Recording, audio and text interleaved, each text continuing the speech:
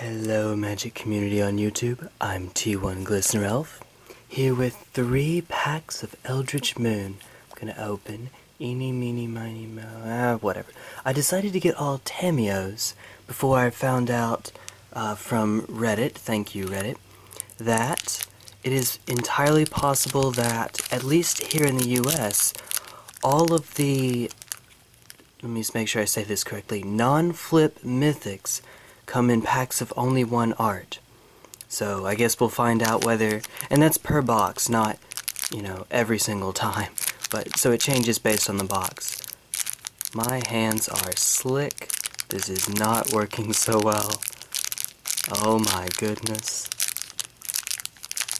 Yeah, whatever. There we go. There we go. So we're going to start off opening this first pack. We start off with a Waxing Moon, which lets you transform a target werewolf, then your creatures gain trample until end of turn. Brazen Wolves, speaking of wolves, I guess. Very nice. Ooh, Drag Under. Alright, so it's an unsummon that draws us a card. Very nice. Bloodbriar. Whenever you sacrifice another permanent plus one plus one counter. Interesting. Borrowed Malevolence. Okay. Lunarch Mantle. That art. Wow. So Dark Souls. Exultant Cultist. Borrowed Hostility. So two Escalate spells in here. Also, that looks like one of the doctors. In the art? That's gotta be Matt Smith. oh, okay. Or I'm just crazy. Thraben Standard Bearer. I, this saw a lot more play in Limited than I thought it would, to be honest.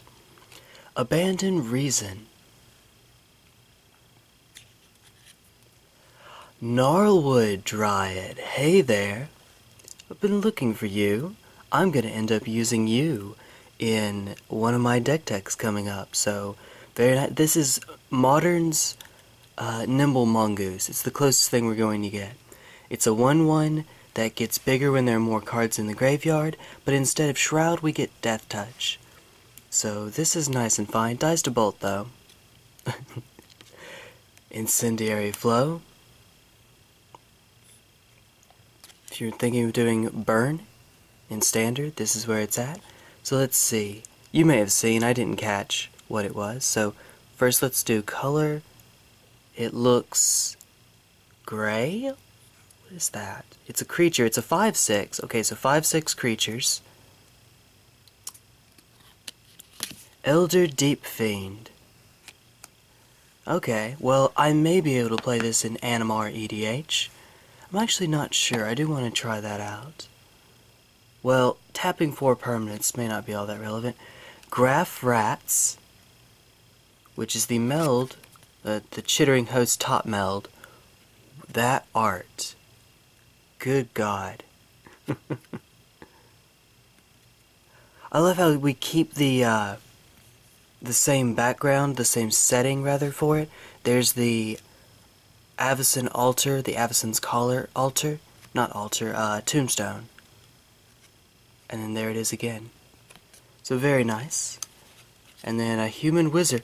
Ooh.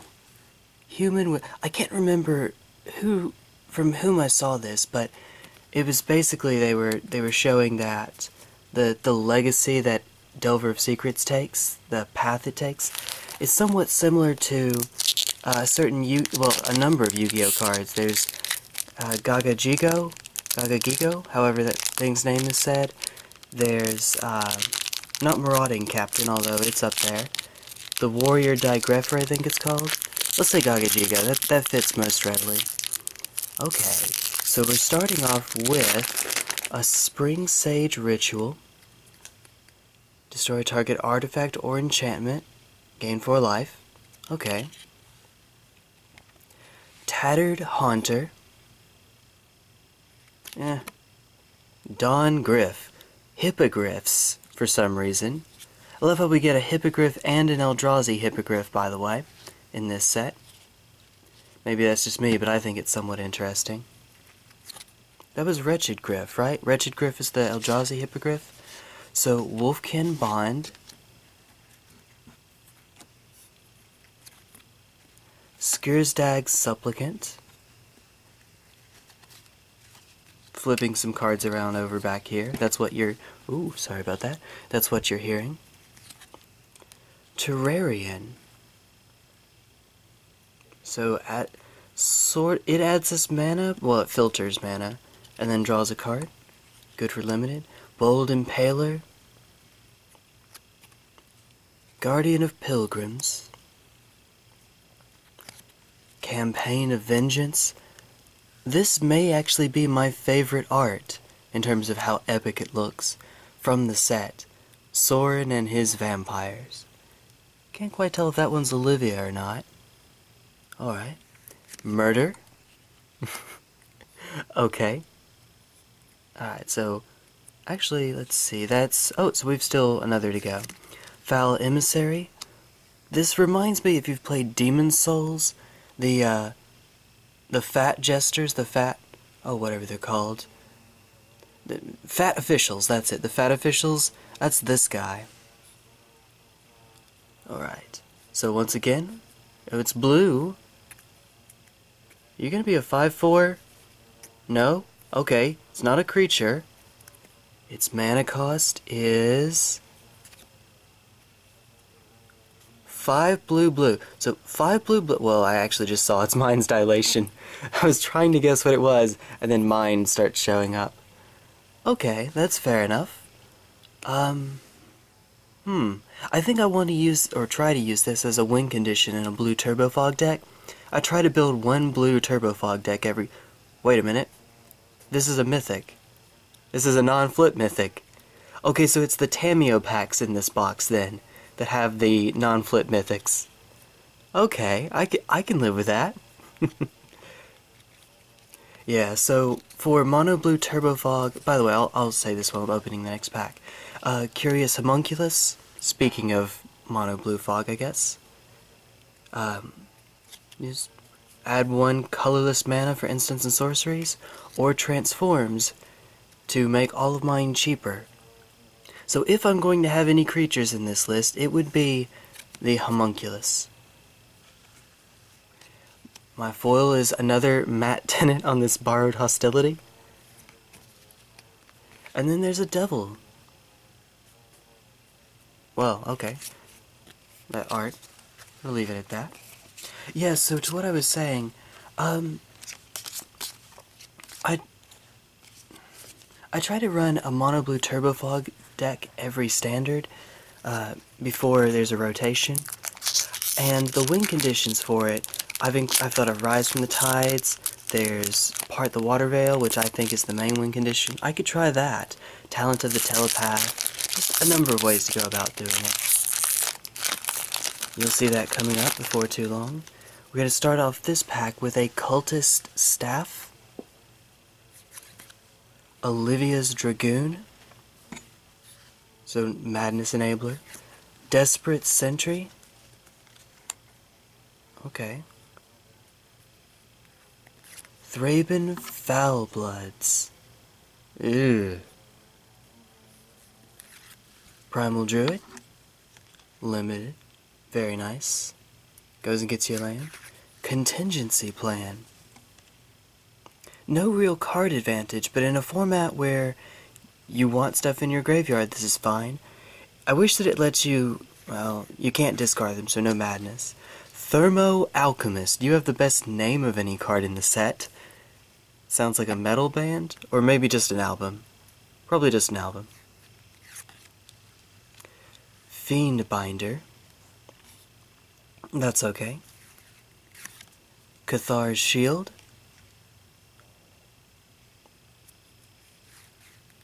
Repel the Abominable. Prevent all damage that would be dealt by non-human sources. Lashweed Lurker. Another, this probably could go in the Animar EDH deck. Uh, maybe return a non-land permanent to the top of their library. I, that's not usually what the deck is trying to do, though. Spreading Flames, 6 damage divided as I choose among any number of target creatures. Okay, so we're going to do this bit again. It's red. It's not a creature. Alright, I'm going to try to not reveal it this time. Okay, what's the mana cost? One red red. Okay.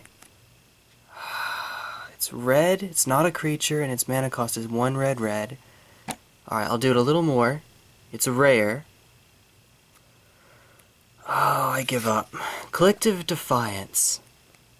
Okay, fair enough. Another nice little burn deck card. So, uh, burn could very well be a thing in this standard. I'm hoping it is, and my friend TJ assures me that it is with Eldritch Moon. Now, Ulvenwald Captive.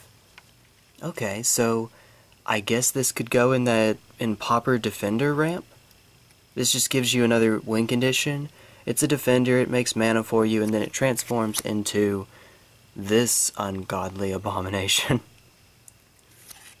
Alright. And then a spirit token at the end. Okay, so in each of these packs, I guess we'll start with this one, because I just picked it. What would be my first pick? If this were the first pack, what would be my first pick? Oh, the Primal Druid. It's easy for me to say that, or the Captive, because, well, in this case it gets me any of my colors, and if I don't know what color I'm getting yet, I'm that guy. I, I tend to try to keep open for as long as I can until I start seeing signals. Um, and often that does mean that I end up going green, because green is the color that's most accommodating to other colors. Other than that, I don't know about this because of red red in the cost. Um, that does force me into red when it may not actually be open. Um, and this is 8. 8 mana. I can do it, I'm sure. Or 8 mana or less. But I don't know. Maybe that's it. So it's probably going to be one of these three in this pack. And devoid of any other context. Um, yeah, I think we go with the Primal Druid. I think that's where I, I hit. It, it ramps me a little bit, it fixes my colors, it gives me a chump blocker. Uh, I think I'll go with the Primal Druid for that pack. Uh, for the... Oh dear, did I get these mixed up a little bit? It looks like I did. Oh, so the Mind's Dilation ran over here. Ah, here we go. Oh yeah, this is right. So, the blue-blue doesn't matter quite as much in Mind's Dilation because it's that expensive. This is probably easy. If we're... That probably has to be my first pick because it's so good. It just wins you the game outright. And I'm okay with going into blue because of draw power. Uh, I prefer to go into green because it's so accommodating. But blue has enough draw power that it can play with other colors pretty reasonably as well. Nothing seems to rise to that level just yet. I mean, Terrarion fixes my colors and draws me a card, but this isn't first pick worthy. I, I want my bombs before I want my fixing. So yeah, Mind's Dilation wins for this pack. And then for the first one, let's see. Ooh, these are so good. Alright, so this is kind of serving the role of Primal Druid in this pack. Keeps me open, draws me a card, but that's not really where I want to be, right? I don't think so. Um, unsummon, even if it draws me a card, isn't worth being first pickable. No way. Um, Malevolence doesn't kill enough for it to be a first pick. Um, yeah, it's it's not a great pack from what I'm seeing. I could just go with the Bomb of Elder Deepfiend. Uh, I really don't like its ability in Limited, though. It does open up the potential for killing with a swing from that turn. The Gnarlwood Dryad stalls and actually does something later on in the game. Uh, just the fact that it's a Death Touch 1-drop could be enough to make me pick that first. But the Cultist lets me keep all of my colors open, well, not all of them, that would be the Elder Deep Fiend, but plays most easily with other colors here. It can die and draw a card for me. Uh, like I said, blue can do that. Blue can play with other colors. I hope I'm making myself clear. I hope I'm saying that correctly. Or I could just go with the bomb of Elder Deep Fiend. This is likely enough to come back around, because it isn't all that strong. Maybe I just go with the 8 mana or less, and hope that gets me there. I think that's fine. Elder Deep can just win me the late game, just by opening them up for an Alpha Strike. So yeah, I'll take this. I, I feel like it shouldn't be that hard, like it I should have just picked this, there's that cautious side of me that wants me to keep every color open just in case, and that's why I perhaps lean a little bit too far uh, in this direction. And then while this plays to the late game, this plays to the early game, which is why I was debating both of these. In any case, I hope you've enjoyed this uh, this little journey into the mind of T1 Glistener Elf. I will see you later. Bye bye.